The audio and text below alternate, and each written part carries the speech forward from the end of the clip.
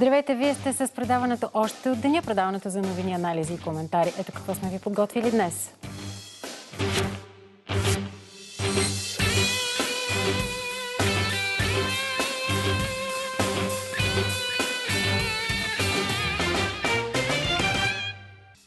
COVID-19 – ситуация на ръба. Защо броят на заразените стремглаво расте? Как се променя вирусът? Достатъчни ли са наложените мерки? Разговор с вирусолога професор Ива Христова. И още. Политика и пандемия. Войната на институциите. Коментар на анализаторите Антуанета Христова и Росен Карадимов. Първият ни гост днес е професор доктор Ива Христова, заместник директор на Националния център по заразни и паразитни болести, вирусолог. Здравейте! Здравейте! 2569 души заразени само за последното денонощие. В болница са 2217, в интензивни отделения са 147 човек. Сбъдват ли се най-мрачните прогнози или сме далече дори и от това още? А, вижте, положението е сериозно и се очаква да стане още по-сериозно, следвайки примера на другите европейски страни. А, сезонът е сега на острите респираторни заболявания и COVID-19, въпреки че много неща все още не са ясни за него, все пак основно е респираторен вирус, предава се основно по този начин, така че това се очакваше.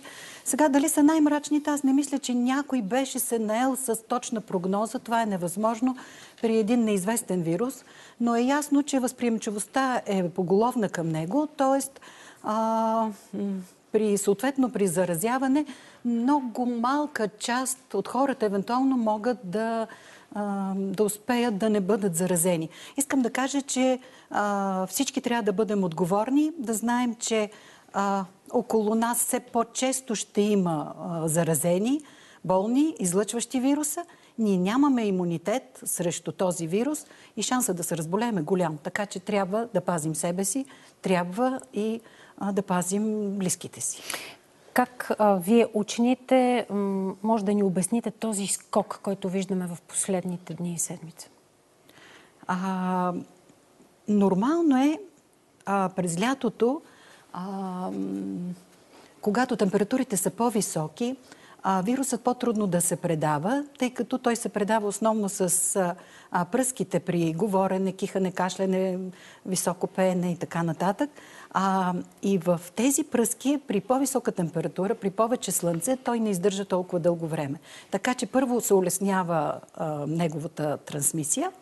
А, и ако през лятото един човек заразяваше един човек или малко над, сега ще се окаже, че заразява двама и повече и се очаква това да стане още по-зле. Тоест, ние все пак в някаква прогресия а, очакваме да се увеличават случаите. И за това са толкова необходими и навременни мерките, ако може да се намали това скокообразно нарастване на броя на случаите, защото действително а, не е лесно за здравната система. Много-много голям е товара. Хората наистина са много-много изморени на предела на силите си. Това трябва така да е. знаем. Легла има, да, но леглата не решават всичко.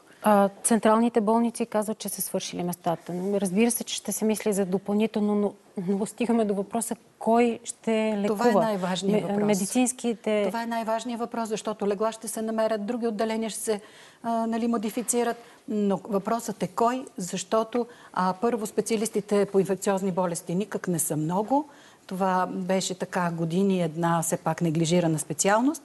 А, всички лекари, които работят, дават много повече дежурство, отколкото могат да издържат. Те наистина са много-много изтощени. И това пак рефлектира на нас, останалите хора, да бъдем така добри, поне да не им създаваме толкова много работа. Да, те за това и ни помолиха с нощи. Еми, Представители напълно... на големите столични да. болници излязоха лекари, медици с светещи телефони призовавайки ни да им помогнем на тях, спазвайки мерките. Защото, вижте, значи, едни седат с маски, с кафандри в отделенията, изнемогвайки, а други едни маски имат да носят и казват, ми те ни затрудняват и не можем. Хайде да поговорим малко за този скептицизъм, който виждаме в част от обществото. А, на фона на всичко това, което сега вие ни разказвате, на всекидневната статистика и информация, продължава да има хора, които се съмняват, че това е някаква огромна манипулации и а, заговор, че няма коронавирус или че ако има то маските не помагат. Къде е истината между това един грип като грип, до това е смъртоносен вирус, който дори бил моделиран лабораторно? Къде е истината? Както се казва, винаги истината е по средата. Нито е толкова смъртоносен вирус от една страна, нито е толкова лек от другата страна, така че да не му обръщаме внимание. А, но а по въпроса за тези пълни абсурди, които се говорят, които не почиват на никакви факти, че а, не помагали маските, че ни заразявали, че няма смисъл. А, винаги ми се иска да попитам тези, които са против маските, ако знаят, че човека срещу тях е заразен, болен, излъчваш вируса, те ще застанат ли срещу него, ще говорят ли с него без маски? Защото е много лесно да говориш така абстрактно, без връзка с реалността. Ми не сме против маските, ми не ги носете, те са вредни. А когато опре собствената ти кожа, искам да попитам, ти без маска ли ще излезеш? Защото лекарите в болниците носят маски, носят шлемове, носят скафандри и пак има риск за тях и има болни. Така че това са пълни абсурди. Това е минималното, което можем да направим. Да носим маски, да спазваме дистанция, за да намалим максимално възможността да се заразим. Вероятно и вие, и в професията си, а и в личен си живот, сигурно сте се сблъсквали с недоверие. Някой да ви пита, бе, кажете са тази работа, каква е истина или не. Какъв е аргумента за това? Какво дали съществува вируса или не, ами аз трябва да ви кажа, че реалността го доказва и а все повече около нас ще има хора, които са го боледували. А аз мисля, че много скоро, тук до 2-3 месеца, всички ние ще имаме близки хора, които ще са били болни. И когато го видиш от първо лице, представяш да говориш, че няма такава инфекция или че тя е като едно леко грипче, защото е много по-тежка инфекция. Аз чух дори нещо много по-тежко като прогноза от колеги и медици ваши че много скоро ще има всеки един от нас познат, който е починал от COVID-19? Аз се надявам да не е точно така. А, но при всички случаи, близки, болни, ще имаме от първо лице, така че ще имаме възможност да ги чуем тези хора а, с болките в гърдите, с задуха, с много бавното възстановяване, а, с седмици възстановяване. А, не дай си Боже, по-тежко боледуващите, които всъщност нямат бял дроб, с който да дишат, няма свободна повърхност. Наймате ли се с прогноза за това как би се развивала пандемията? Дори и само на това, което виждате в Западна Европа, очевидно вълната там идва. Това, което се случва там, с закъснение се случва и в България. И проблемът е и в това, че България е сред водещите места в Европа по смъртност. А с... Защо? С точна прогноза никой не може да се неме в смисъл на цифри. Но с прогноза за това, че ни чака повишаване на случаите, това е сигурно. А Доколко скокообразно ще нараства обаче, зависи от а, в момента взиманите мерки. Сега е момента да се ограничи, за да бъде като плато, да не бъде остър връх. Добре, на няколко пъти ги споменахме мерки. А, достатъчни ли са тези, които са взети към момента според вас? Не са ли половинчати? Не са ли закъсняли? Защото се чуват и такива критики. Значи по въпроса с мерките е много трудно да се намери баланса, така че а, и економиката да не се блокира и здравето да се запази. А, аз мисля, че в тази ситуация на това търсене на баланс, а, все пак се взимат а, адекватните мерки към сегашното състояние. А, тоест, така или иначе България... А, в България спрямо другите европейски страни разпространението е доста по-малко. За това разпространение, мерките, които сега се взимат, са напълно достатъчни, стига те да се спазват. Сега, тук разбира се опира въпроса до контрола, който е много трудно да бъде а, наистина проведен а, на 100%, просто няма и такъв капацитет. Но при всички случаи мерките, които сега се взимат, ако се спазват, ако има възможност и те да се контролират, а, това към момента ще бъде достатъчен. Но а, по въпроса за смъртността, а, Поначало и преди COVID ерата България беше така на едно челно място по отношение на смъртността. Не се наемам да ангажирам всички възможни фактори. Те може би започват от въздуха, от храната, от начина на живот, от напрежението и така нататък. Така че не можем да очакваме в една страна, която поначало е на така предно място в Европа по смъртност, след COVID епохата нали, да промени мястото си. Вие можете ли да ни отговорите защо при 20 човека всички ни затвориха и цялата държава спря, а сега при над 2500 заразени само за 24 часа. Имаме нещо като, прощавайте, но като полумярка. Можем трябва да носим маска на улицата, но само ако има хора около нас. Можем а, да отидем на кафене, можем да отидем на спортно събитие, както стана ясно на тенис турнира. А, при приложение, че има над 2500 човека. А, значи в началото а, първо а, се сблъскваме с неясен вирус.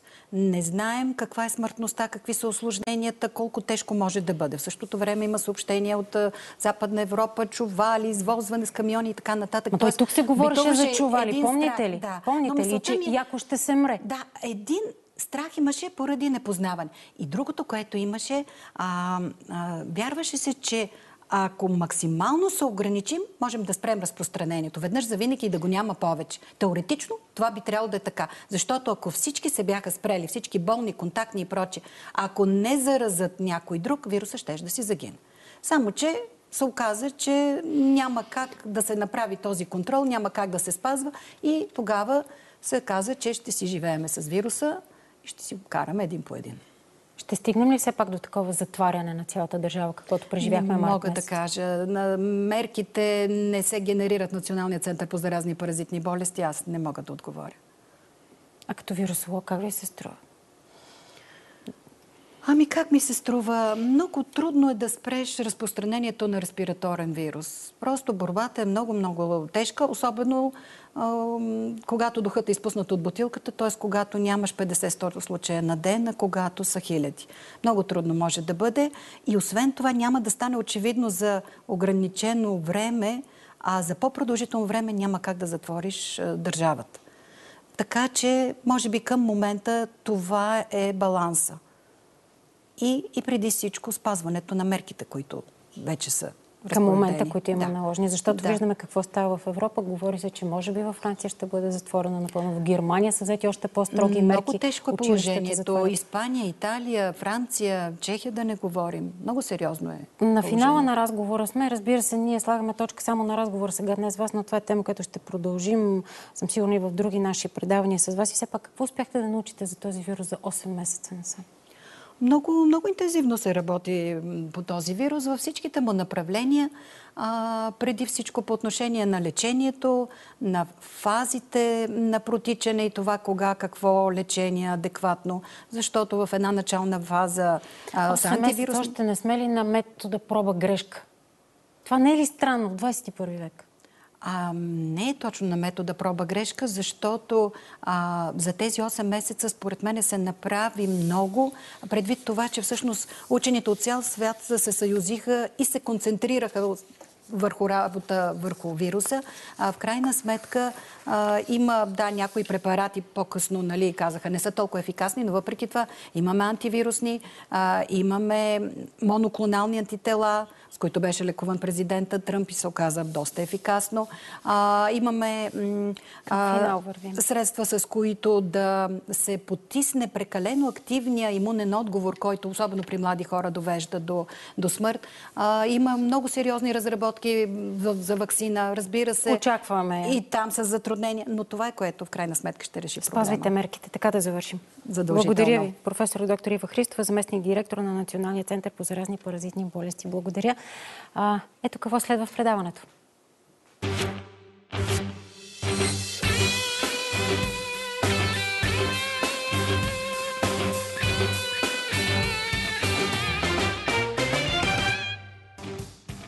Политика и пандемия. Войната на институциите. Коментар на анализаторите Антуанета Христова и Росен Карадимов.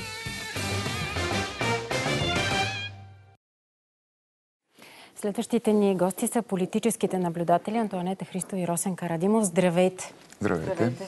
Коронавирусът настървили и премьер, и президент, както се казва, да си мерят карантините. Кой кого? Усмихвате се, господин Харадимов. Е, дамата. А дамата първо, добре. Коронавируса. Виновен ли е той за всичко? Виновен ли е? Да ви кажа, не. А, не, не можем да му приписваме толкова много вини на горкия коронавирус. А, все като че ли а, се опитваме и него да политизираме. На практика... Ама ние ли? А, да, да, Публиката? Да, публиката. Така ли? На практика така се получава, че като че ли публиката е разделена на про и анти. А, това, че го има или че го няма. Про и анти за това да се носи маски или да не се носят маски.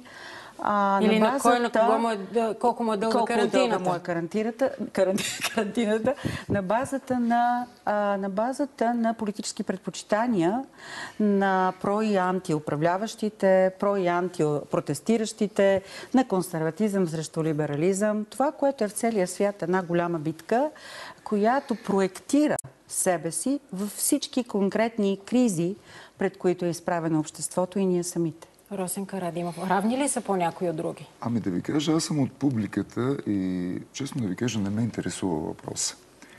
И противно на мнението на професор Христова, че въпросът е тежко политизиран между про и анти, според мен това е вече върховната еманация на Извинявайте за израза, обаче на упростенчеството в политическото говорене и в политическото противопоставяне. Това не е нито темата на България, нито темата на обществото, нито темата на, на, на хората, кой колко карантина има, кой кога му е свалил и кой си е отишъл за това, че не е свалил карантината. Едно е вярно, законът е еднакъв за всички, трябва да се спазва от всички. Това е безспорният принцип, който трябва да бъде изведен от тук. Но ми се струва, че това не е дневният ред на, на обществото. А кой е дневният ред? Ами дневният ред на обществото е това, което ще последва. Защото ако през март и април хората бяха оплашени от нещо непознато, което се задаваше, носиха се нали, така зловещи предсказания за хладилни камери и така нататък, като че ли хората а, познаха тази ситуация, но това, което не познават е какво ще последва като економическа ситуация в страната. И според мен непредсказуемостта на а, економическото бъдеще и на битността на всеки един от хората в момента е много по-сериозен проблем, отколкото карантината, на който и да е било от държавните ни лидери. Но ние виждаме, че дори този въпрос за това какво ще последва, да речем бюджета да хванем, виждаме, че и той а, става повод за поредното ритане по кокълчетата. А, а, котката на Шрёдингер, жива ли е, мъртва ли е, по цитат вчера вице-премьерът Томислав Дончев. А, да кажем а, следния факт, мисля, че всички може да се обединим около него, че на практика живееме в много висока степен на неизвестност и неопределеност. А, за 8 месеца преди мен а, професор Христова каза, че науката е научила доста неща, но все още няма отговори. Освен, че няма отговори кога ще свърши, кога ще има вакцина, кога ще има край на този вид здравна криза – тази здравна криза предполага економическата. Освен, че има економическа, в България се реализира една политическа криза. И то не само в България. Като казах, че има сблъсък между консервативното и либералното, виждаме го в Штатите, виждаме го в другите държави. Имаме битки на философии, битки на разбирания на ценности. А, и а, в тази картина на битка и на много неизвестни, много трудно се прави вече ще кажа нещо, от което не разбирам, но от гледна точка на философията и на психологията на процеса го разбирам, много трудно се прави далекобоен а, бюджет или далекобойно планиране. Горе-долу хората действат на принципа спасяваме ситуацията.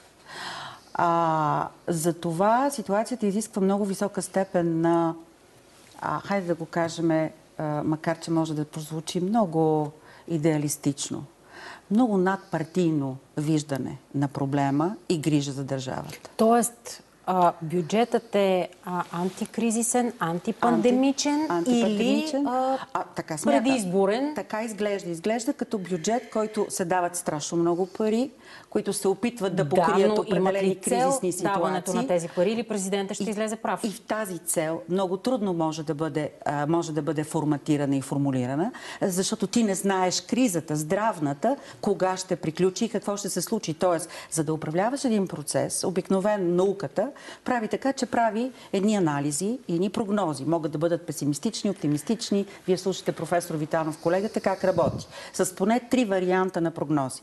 Когато ти не си състояние на база липса на информация да направиш тези три варианта на прогнози, много трудно е да критикуваш това, което се случва тук и сега. Росен Карадимов. най-грозното за мен в ситуацията е, че пандемията се използва като мотив, за да се предложи един бюджет. Тези аргументи ще да бъдат верни, ако през март и април управляващите бяха приели призива тогава на опозицията да се актуализира бюджет. Такъв призив имаше. България чакаше тежък период. Пълен локдаун. Затваряне на всичко. Тогава не беше актуализиран бюджета за 2020 година. Той беше актуализиран доста по-късно, за да се легитимира теглянето на един 10 милиарден заем. А, и аз се питам, а, каква е разликата между март месец относно неизвестността на планирането и ноември месец относно неизвестността на планирането. Разлика няма.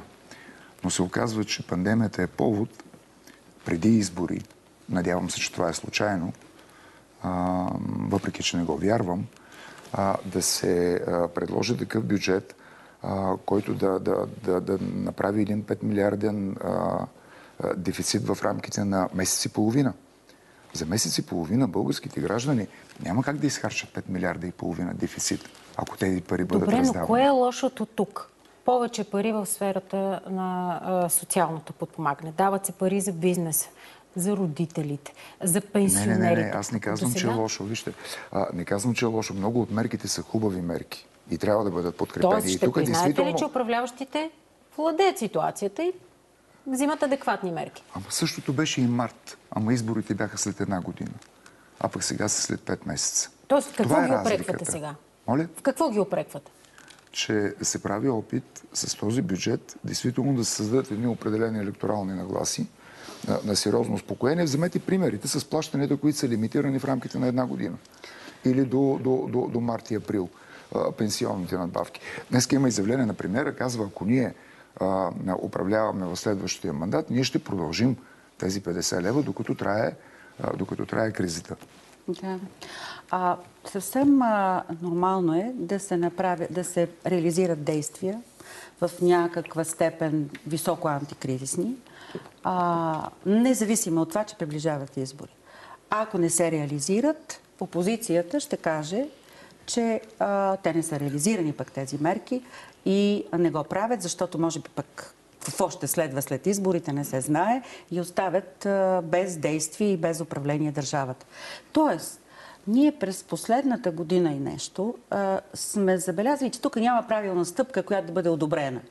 Постоянно сме в позиция на атака и на критика. Да, защото яйцата летят всъщност по сградата на а, премиера и неговите министри, Но- а не по президентството. Така е, а, така е. Те летят, но както виждате, цялата тая енергия намаля. Е, сега след мъничко само за това ще и, поговорим. имаме една много добра новина, че ние влизаме в вече реална а, такава, каквато би трябвало да бъде предизборна кампания. Ние не сме в предизборна сметка- кам- кампания от месеци? Абсолютно сме. Абсолютно. Но въпреки всичко, всеки влезе в различен етап, с различни средства.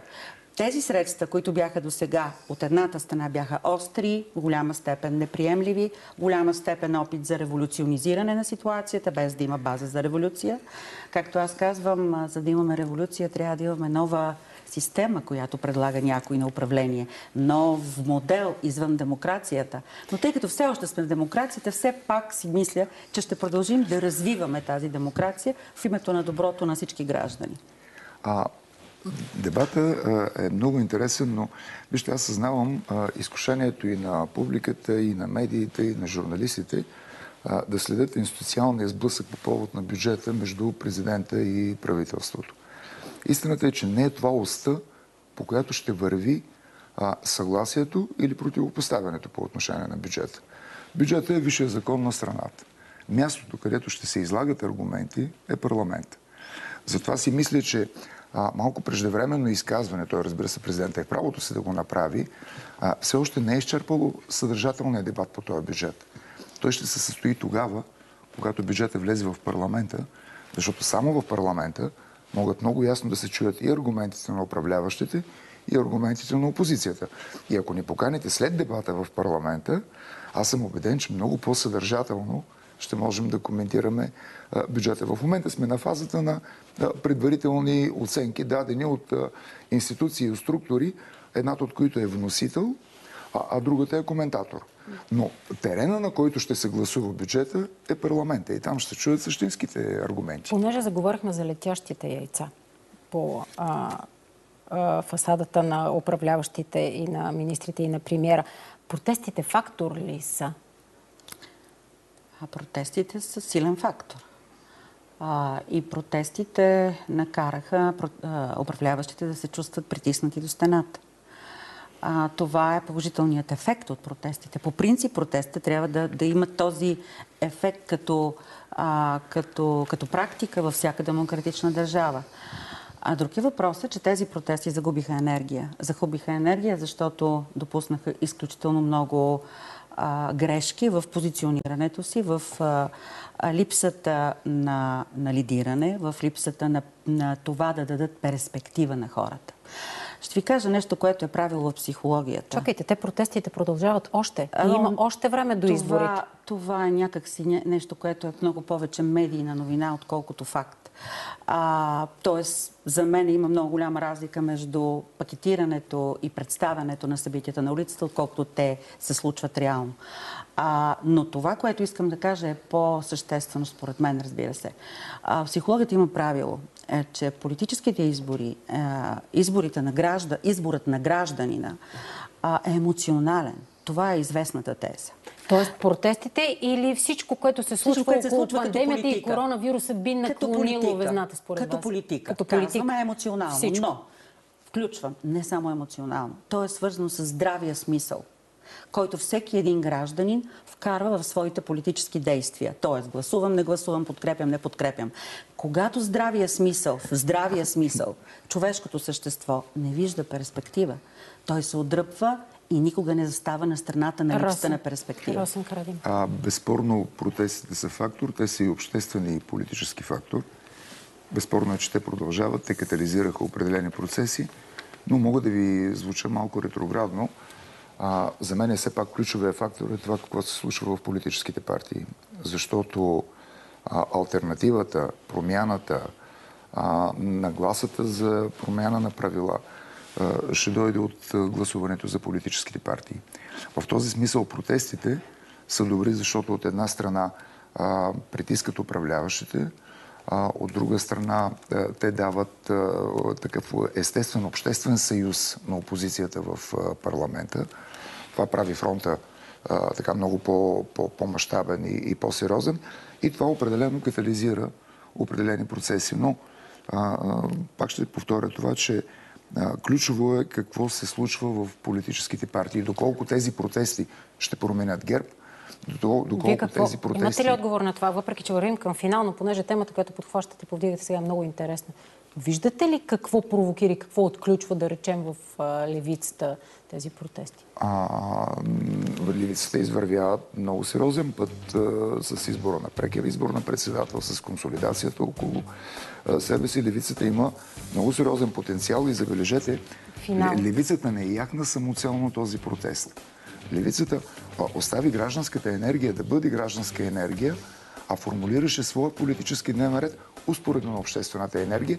И това според мен е правилния, правилния подход Ще на видим разговор с продължение. Изискването на, на времето в момента е да имаш усет към необходимостта от промяна, от смислено автентично съдържание, от влагането на смисъл в това, което се случва и в това да се припознае автентичното политическо говорене. Който не го направи, той ще загуби. Който не се промени, той ще загуби. Който поеме тази промяна и я премине през себе си, ще спечели на следващите избори.